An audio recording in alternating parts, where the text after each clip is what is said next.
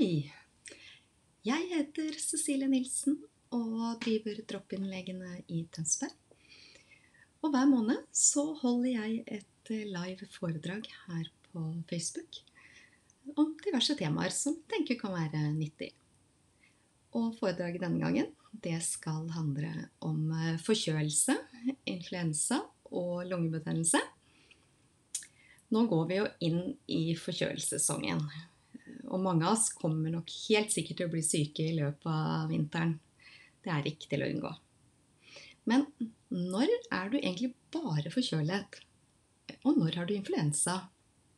Og er det bare virus, eller er det bakterier der også? Og er det virkelig ingen medisiner du kan få som gjør deg frisk? Og det største spørsmålet er når bør du gå til lege? Dette håper jeg jeg kan eh, besvare for dere i løpet av foredraget. Bare still spørsmål hvis dere vil det. Og kom gjerne med tips om eh, temaer dere ønsker at jeg skal holde foredrag om. Og så kan jeg reklamere at vi har fått vår egen YouTube-kanal. Ligger ikke så veldig mye på den eh, akkurat nå, men det kommer. Der kommer jeg til å legge ut bl.a. disse webinarene som jeg har. Så følg gjerne med på det. Og til dere som ser på dette her eh, live, så kan dere bestille time hos Drop-In-legene. Og så spanderer vi influensavaksinen på dere. Dere må selvfølgelig betale for timen, men vaksinen får dere av oss. Da tenker jeg at vi kjører i gang med foredraget vi tar vekk disse søte små bakteriene og virusene her sånn, som eh, ikke er så veldig søte når man eh, først får det i kroppen.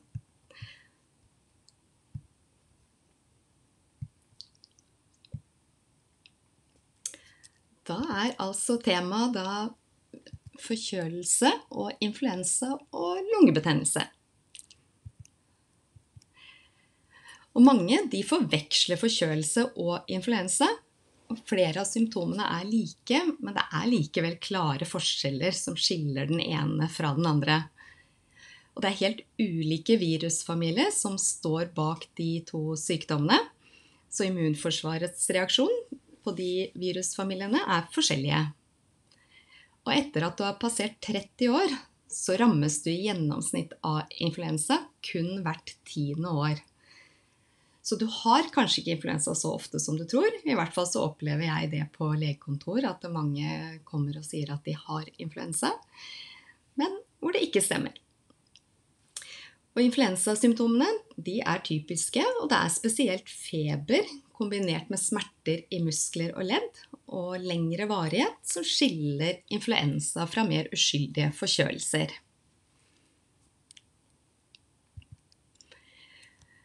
Og virusene de smitter for det meste gjennom hånd-til-hånd-kontakt, hvor man da tar seg til nesebor eller øynene senere, og så overfører man viruset til seg selv på den måten.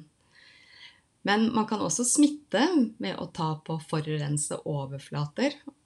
Og noen virus kan overleve mange timer på ting som dørhåndtak og telefoner. Og så smitter du jo også ved dråpesmitte som hosting og nysing. Og det er veldig viktig at når dere hoster og nyser, at dere gjør det inn i albuekroken.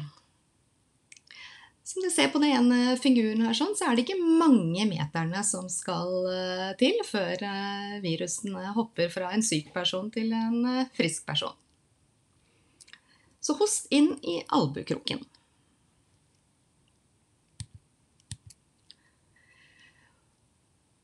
Og forkjølelse det er jo en eh, virusinfeksjon i slimhinnene i de øvre luftveiene. Altså i nese, svelg og luftrør. Og rinovirus det er årsak til 50% av infeksjonene. Ser dere den eh, som er farget med rødt der, er der eh, virusinfeksjonene sitter ved forkjølelse. Og så fins det altså over 200 ulike virus som kan gi infeksjoner. Og det er dette store antallet på forskjellige virustyper som gjør at man er utsatt for infeksjoner hele livet. Man blir aldri immun mot forkjølelse. Og så er det vanlig at voksne har ca. 1-2 og barn syv til ni forkjølelser i året. Så når du syns barnet ditt kanskje er forkjølet til stadighet, så stemmer det. Det vil jo si nesten én gang i måneden, er unntatt om sommeren. Og så er det jo barn i aldre seks måneder til tre år. De rammes spesielt ofte. Men eh, sykdommen rammer alle aldre. Og så oppstår det hyppigst på vår og høst.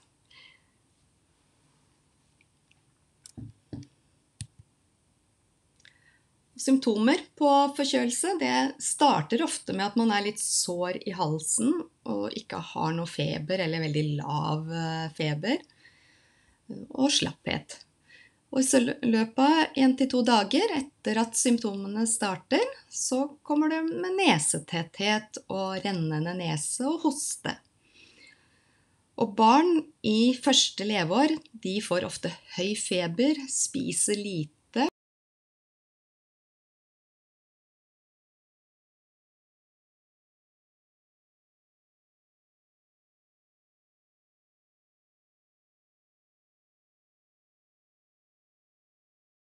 at de fleste forkjølelsesvirus eh, i det vesentlige smitter så lenge man har symptomer. Og så er det sånn at en tredjedel av de som blir smitta, altså de som får viruset, de blir ikke syke. Det er såkalte friske smittebærere. Og de kan sitte ved siden av deg på jobben og smitte deg, men de vet ikke. Så du kan ikke unngå å holde deg unna alle virus.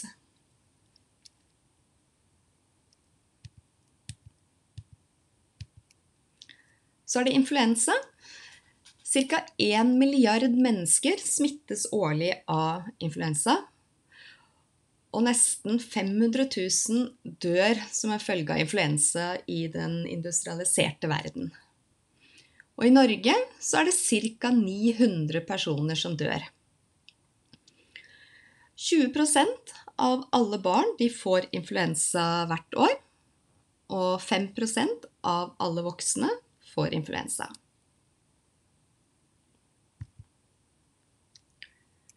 Og influensa det er en infeksjon som skyldes influensavirus A eller B.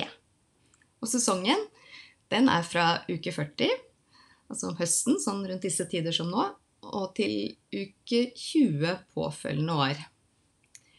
Og influensaepidemier det forekommer så godt som hvert år oftest fra sent i desember til tidlig i mars året etter.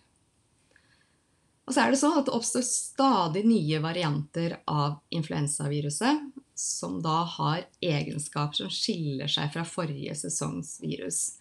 Så det vil si at du kan bli syk av influensa selv om du har hatt det før. Og tid fra du blir smittet til du får symptomer, er ca. 1-4 dager. Smittefare er da fra dagen før symptomene begynner, og til fem dager etter symptomstart. Og tre fjerdedeler av de som får viruset, de blir ikke syke. Igjen, det nytter ikke å holde seg vekke, fordi de ved siden av deg kan ha viruset uten å være syke. Symptomer på influensa det er høy feber, ofte opp 39 til 40,5 grad.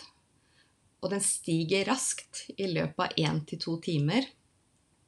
Og det er ofte sånn at du kan føle deg helt frisk, og så plutselig, i løpet av noen timer, så føler du deg kjempesyk. Feberen den kan vedvare opptil en uke. Så er det viktig å vite at feber kan være fraværende hos eldre mennesker. Og ofte så får man eh, frysninger, muskelsmerter, slapphet og hodepine. Og som ved forkjølelse så får man gjerne litt tett nese, sår hals og eventuelt uh, tørrhoste, men ikke alltid. Så får man nedsatt matlyst, magesmerter, diaré og oppkast. Det forekommer spesielt hos barn.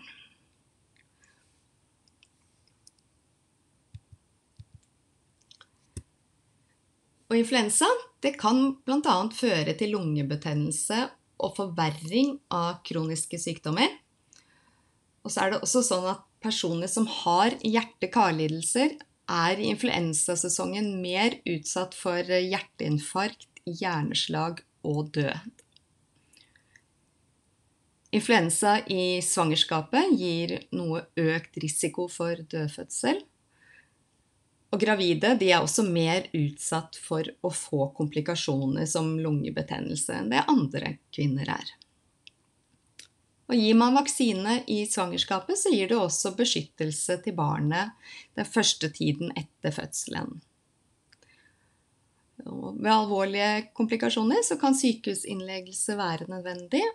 Og noen de får også varig svekket helse etter alvorlig influensasykdom. Men det positive For de aller, aller fleste så forløper en influensa helt ukomplisert. Selv om plagene kan være betydelige i den perioden du er syk.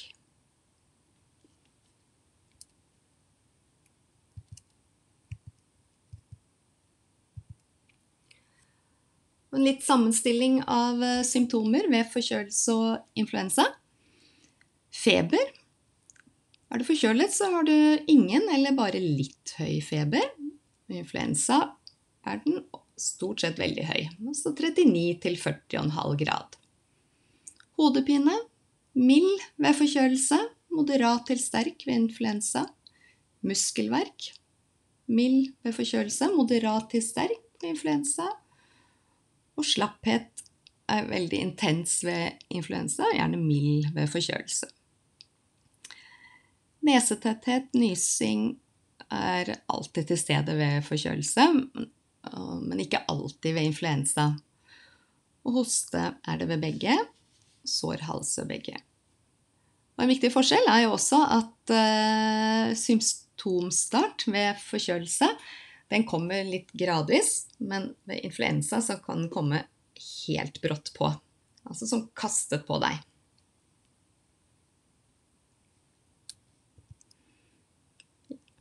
Det er en annen, sammen, eh, en annen fremstilling av det jeg har snakket om nå.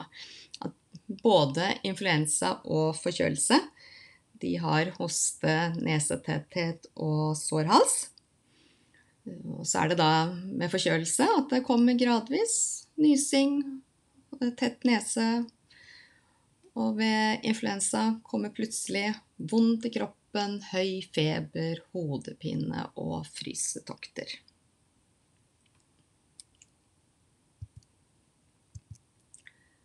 Varighet, altså forkjølelse, der er det mest uttalte symptomer på dag tre til fire. Og så begynner de å forsvinne sånn omkring dag syv. Jeg pleier å tenke at uh, blir jeg forkjølet, så varer det en uke.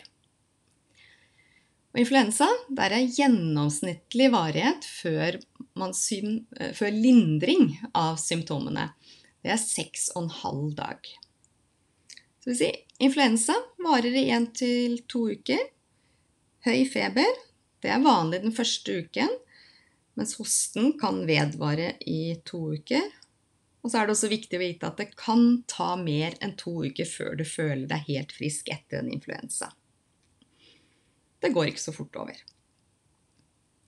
Men hvordan stiller man diagnose? For å være helt sikker på om du har influensa, så må det tas prøver hos lege. Men slike prøver tar vi vanligvis bare i perioder der det er mange som har influensa, for å få registrert hvor stor eh, influensasesongen er. Og typiske influensasymptomer i influensasesong det gjør at man stiller diagnosen uten å måtte ta noen prøver hos lege.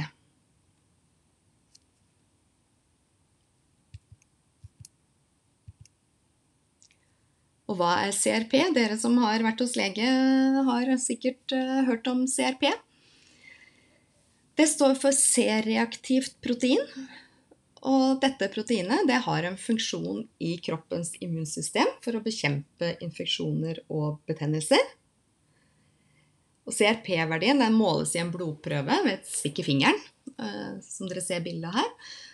Og den endrer verdi ved betennelsestilstander. Og CRP tas ved mistanke om infeksjon forårsaket av bakterier, og for å skille mellom virusinfeksjon og bakterieinfeksjon. CRP kan da brukes som et mål på hvor kraftig en infeksjon eller betennelsestilstand er. Men så er det også viktig å vite at uh, høye verdier kan ikke ses før det har gått 6-12 timer etter at en sykdomsprosess har startet. Så det nytter ikke komme at du begynte å hoste klokken åtte, og så har du en legetime til lunsj. Da vil ikke CRP vise noe i det hele tatt. Etter hvert eh, utover i sykdomsprosessen så kan eh, konsentrasjonen da stige fra under 5 til over 200. Den kan bli veldig høy. CRP faller raskt ved tilhelling. Det er pga. kort halveringstid. Ca. 15 25 timer. CRP kan dermed brukes til å følge behandlingsrespons. CRP-en kan også bli høy ved andre sykdommer, som f.eks. hjerteinfarkt, etter kirurgiske inngrep, visse kroniske betennelsestilstander som leddgikt og tarmsykdommer, og noen kreftsykdommer. CRP over ca. 40 taler for bakterieinfeksjon. Men eh, flere virale infeksjoner kan ha verdier over 40. Og CRP opp mot 50 kan forekomme etter 3-5 dager ved influensa. Og jo høyere verdi, jo høyere sannsynlighet er det for at det er bakterier som står bak infeksjonen. Og normalverdi den er under 10. Men så er det også sånn at CRP viser ikke noe om hvor i kroppen infeksjonen er. Men ved å vite verdien av CRP og ha kunnskapen om det typiske bildet ved ulike sykdommer, så kan legen sammen med sykehistorien og undersøkelsen komme nærmere diagnosen. Så CRP er et uh, nyttig verktøy.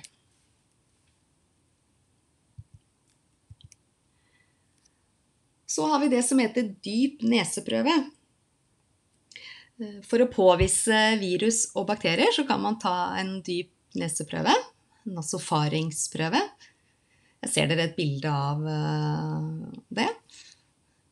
Eh, det er en bøyelig prøvetakingspensel som vi fører forsiktig inn i nesen. Skal ganske langt inn, ca. 8 cm. Er ubehagelig, men det går fort over. Den pinnen den suger da til seg celler, og disse analyseres på laboratoriet, og samme svar i løpet av noen dager. Men prøven eh, den har størst verdi dersom den tas i løpet av de første to ukene av sykdomsforløpet ved en virusinfeksjon, og fire uker ved bakterieinfeksjon. Og så fins det også hurtigtester hvor man får svar på noen minutter. Disse er noe mindre sensitive enn de som gjøres på laboratoriet. Vi har bestilt opp disse hurtigtestene på vårt legekontor.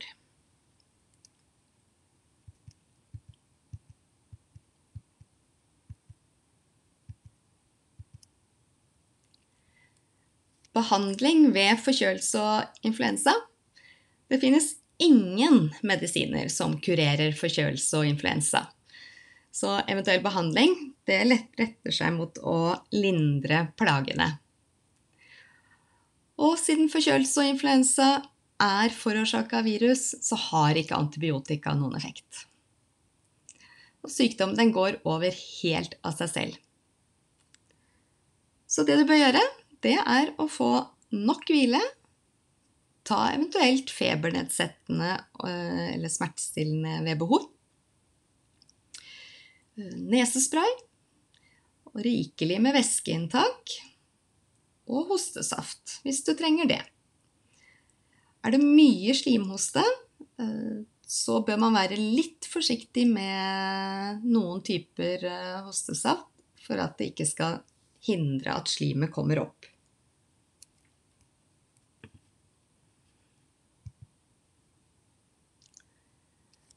annet råd å ligge med hodet høyt når du skal sove. Det kan eh, gjøre at du blir mindre tett i nesa. Annet råd er å skylle neseganger. Eh, og gurgle luftveiene med saltvann har jo også faktisk vist eh, å gi effekt. Og hvis du googler 'kjerringråd influensa', så får du en rekke forslag til matvarer som man bør spise og drikke for å bli kvitt influensa. Men det er lite dokumentasjon på at det er noe som kan forkorte sykdomstiden. Så jeg ville bare anbefalt dere å spise det dere har lyst på. Solhatt det er det mange som eh, sverger til, men det fins ikke noen god dokumentasjon for at det er effektivt verken i behandling eller forebygging av forkjølelse. Vitamin C. Det er mange som hiver innpå eh, overdoser med vitamin C når de føler at de blir eh, syke. Noen studier har vist at symptomer kan mildnes og varigheten av forkjølelse forkortes, men det er ikke alle studier som viser det, og det, man kan ikke konkludere med at det har noe effekt. Det som imidlertid er vist, er at blant idrettsutøvere som er utsatt for ekstreme fysiske belastninger, så kan vitamin C ha en forebyggende effekt.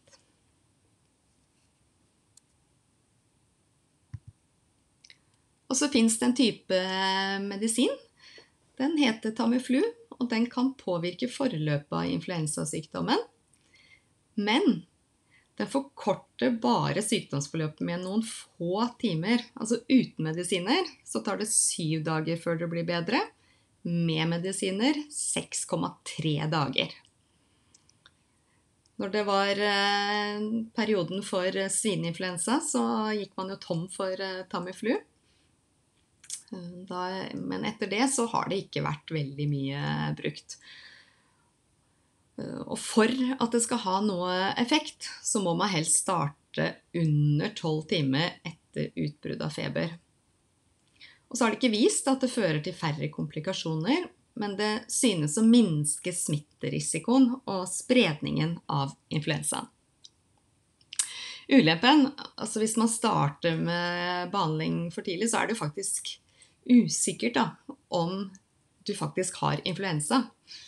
Eh, og som alle andre medisiner så gir jo Tamiflu eh, bivirkninger.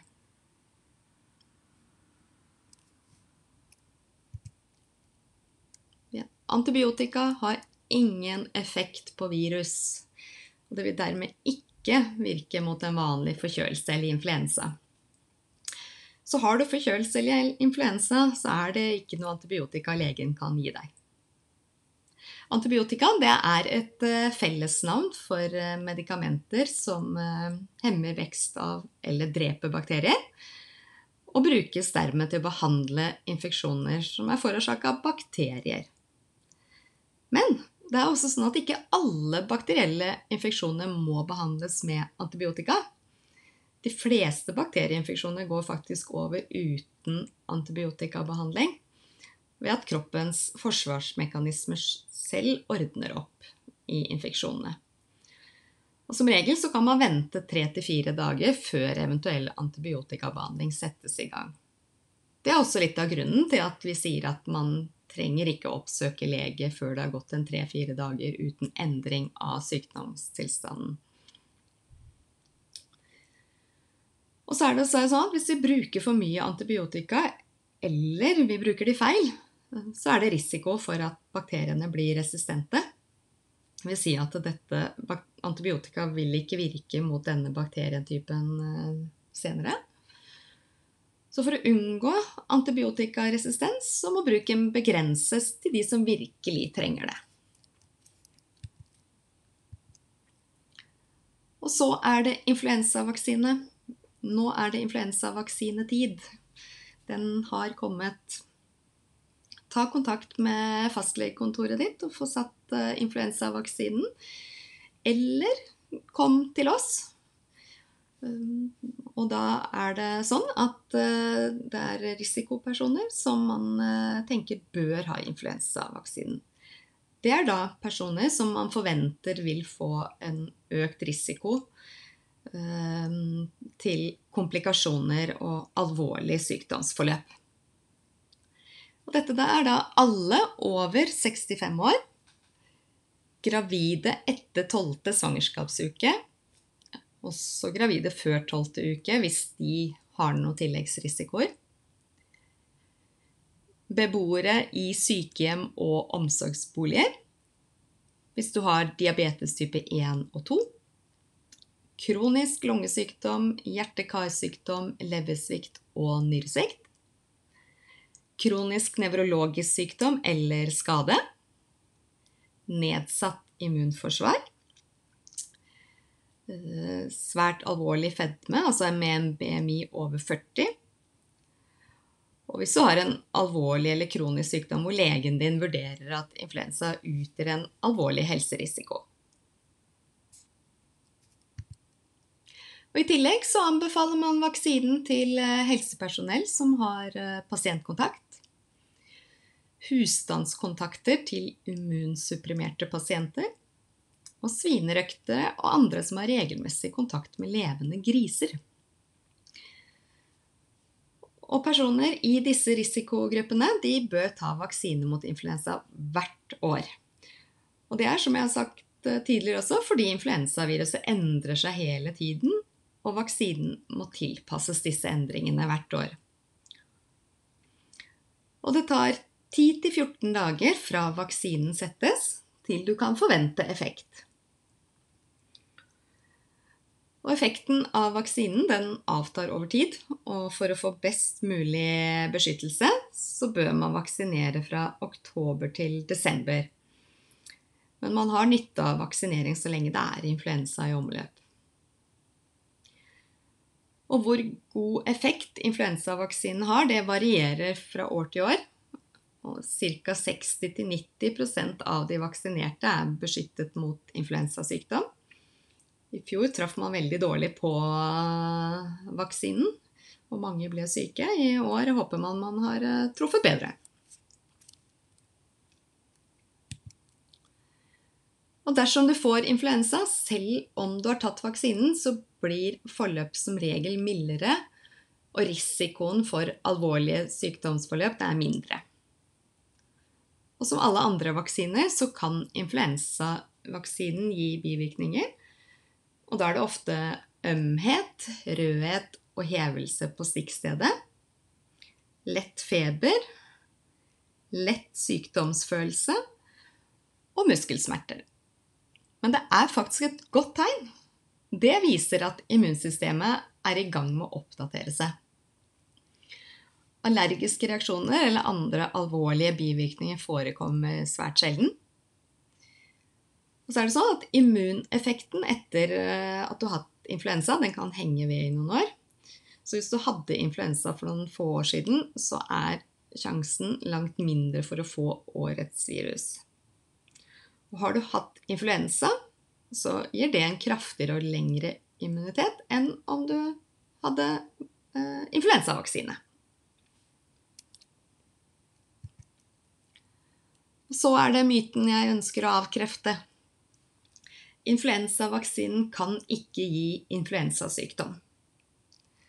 Det er mange som sier at eh, 'jeg tok influensavaksinen i fjor, og da ble jeg syk'. Men da er det nok heller at enten fikk du virkelig influensaen, men du hadde fått viruset i deg før du fikk vaksinen, f.eks. Eller at du influensa, tok influensavaksinen. Immunsystemet ditt jobbet med å danne antistoffer mot influensavaksinen, og så ble du syk av et annet virus. For det er ikke levende virus i en influensavaksine. Og vaksinen inneholder heller ikke hele virus, men utvalgte deler som immunsystemet ditt er i stand til å gjenkjenne og så lage beskyttelse mot hvis du senere skulle bli utsatt for det levende viruset. Og En spesialist i virussykdommer har uttalt det er like umulig å få influensa av en influensavaksine som det er for en fantomtegning av en forbryter å begå lovbrudd.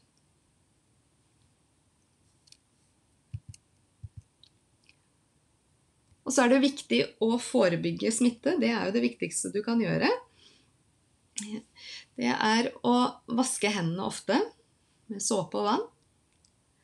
Har du ikke tilgang til det, så bruk hånddesinfeksjon. Og så gni hendene i minimum 15 sekunder. Ikke sånn to sekunder ferdig. 15 sekunder skal du helst gni hendene med da hånddesinfeksjon. Og unngå hoste eller nyse på andre. Vær så snill, host og nys i albuen. Og selv om vi ikke blir immune mot forkjølelse eller influensa, så kan livsstilen vår påvirke om man blir forkjølt oftere enn andre. Og studier viser at personer som er utsatt for fysisk eller psykisk stress, de blir lettere forkjølt enn andre.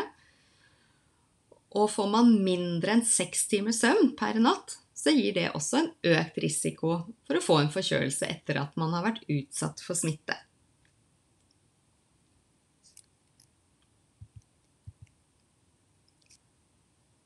Og så er det lungebetennelse. Det er en infeksjon i lungevevet.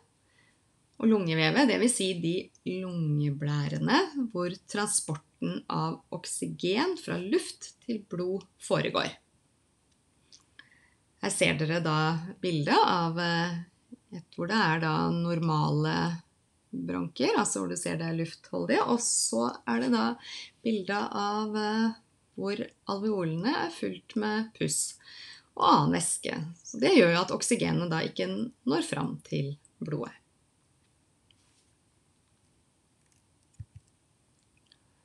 Lungebetennelse kan også involvere bronker, altså disse små luftrørene som går fra selve luftrøret til lungevevet.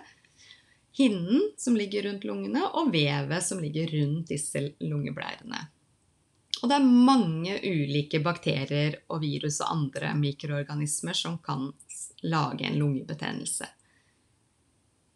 Og lungebetennelse oppstår gjerne etter en eh, øvre luftveisinfeksjon, altså etter en forkjølelse eller en influensa. Og det er ganske vanlig. Ca. 5 av 1000 innbyggere får det i, i, løpet av et år. Da. Og det rammer ofte små barn og eldre. Og blant alvorlig lungebetennelse så er de fleste forårsaket av en bakterie som kalles pneumokokker. Og i barnevaksinasjonsprogrammet i Norge så eh, i pneumokokkvaksinen.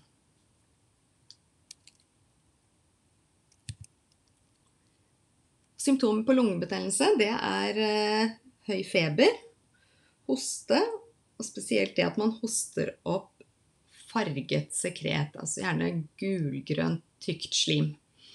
Og noen ganger kan det være blod i dette slimet også. Og man føler seg tungpustet. Man er ganske redusert i allmenntilstanden. Og man kan eventuelt ha brystsmerter. Og så er det veldig stor variasjon i hvor alvorlig lungebetennelsen er, i forhold til hvilken mikroorganisme som har forårsaka infeksjonen. Også alder og allmenntilstand um, har noe å si der. Og den typiske sykehistorien, og det hva legen uh, finner ved undersøkelsen, er i de fleste tilfeller nok til at man blir sikker på diagnosen. Og blodprøver som høy CRP det styrker mistanke om at det er bakterier. Og ved normal CRP er lungebetennelse veldig lite sannsynlig. Så CRP under 30 f.eks. det kan sammen med sykehistorien og legeundersøkelsen bidra til å utelukke lungebetennelse. For å være helt sikker så må man ta et røntgenbilde, men det er ofte ikke nødvendig.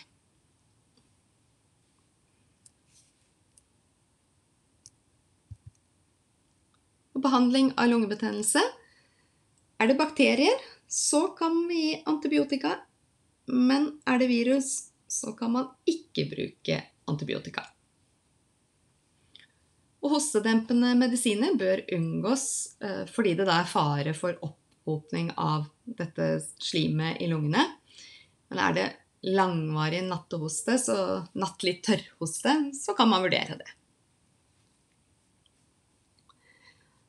Og varighet, altså ved moderat lungebetennelse som ble behandlet med antibiotika, så forsvant i gjennomsnitt feber etter tre dager, muskelsmerter etter fem dager, tungpusthet seks dager og hoste og slapphet etter 14 dager. Og de som hadde en alvorlig lungebetennelse, så hadde 90% fortsatt minst ett lungebetennelsessymptom etter 30 dager. Så det vil si, det tar altså tid å bli frisk av en lungebetennelse.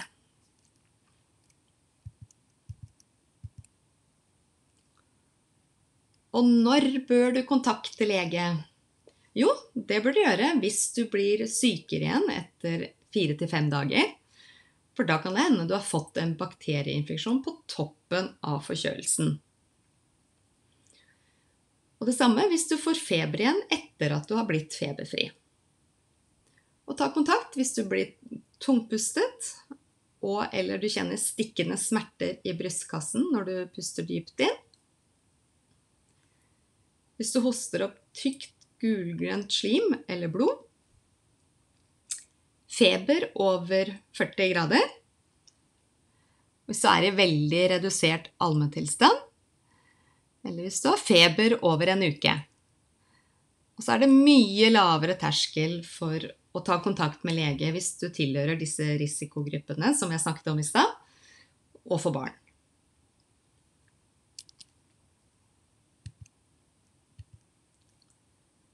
Og når bør du da være hjemme fra jobb, skole eller barnehage? Som jeg sa, forkjølelse- og influensasmitten den er rundt deg hele tiden. Og folk rundt deg de kan skille ut både influensa og forkjølelsevirus uten at de selv har symptomer. Så det, jeg snakket om friske smittebærere. Det er faktisk så mye som en tredjedel av de som har eh, blitt smittet med forkjølelsesvirus. Tre fjerdedeler de som er smittet av influensaviruset, blir ikke syke. Og de er dermed smittebærere uten at de vet det selv. Og vi er også ofte smittsomme før sykdommen bryter ut, så det er ingen grunn til å holde deg borte fra jobb, skole eller barnehage hvis allmenntilstanden er relativt bra og du er feberfri. Men hvis du jobber med syke mennesker som tåler infeksjon dårlig, så bør du holde deg hjemme. Og bruk egenmeldingen istedenfor å gå til lege for å få sykemelding. Det er derfor vi har egenmelding her i Norge. Eh, for du kan være borte tre kalenderdager fire ganger i året.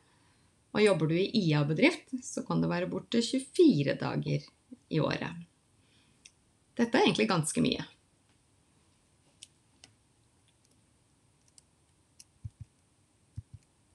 En liten oppsummering. Forkjølelse og influensa det er selvbegrensende virusinfeksjoner som gir luftveissymptomer som kan ligne på hverandre. Influensa gir kraftigere symptomer, høyere feber, varer ofte lengre og gir en mer nedsatt allmenntilstand med muskelsvakhet og smerter. Forkjølelse kommer som regel gradvis. Influensa kommer som kastet på deg. Fra å være helt frisk til å føle deg syk i løpet av bare noen få timer. Og antibiotika det har kun effekt mot bakterier og vil dermed ikke virke mot forkjølelse eller influensa. Og hvis allmenntilstanden er relativt bra, og du er feberfri, så kan du gå på jobb, skole og barnehage.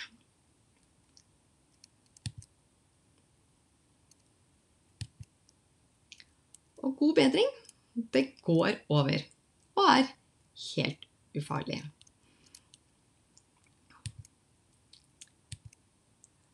Og så vil jeg bare minne om at vi nå er på Facebook, Instagram, YouTube og også Twitter.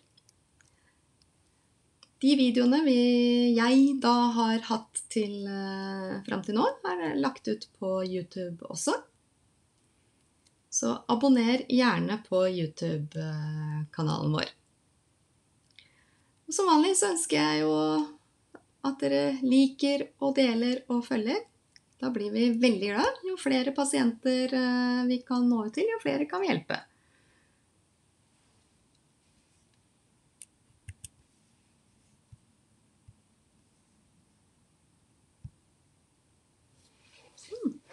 Det var det jeg hadde tenkt å prate om i dag.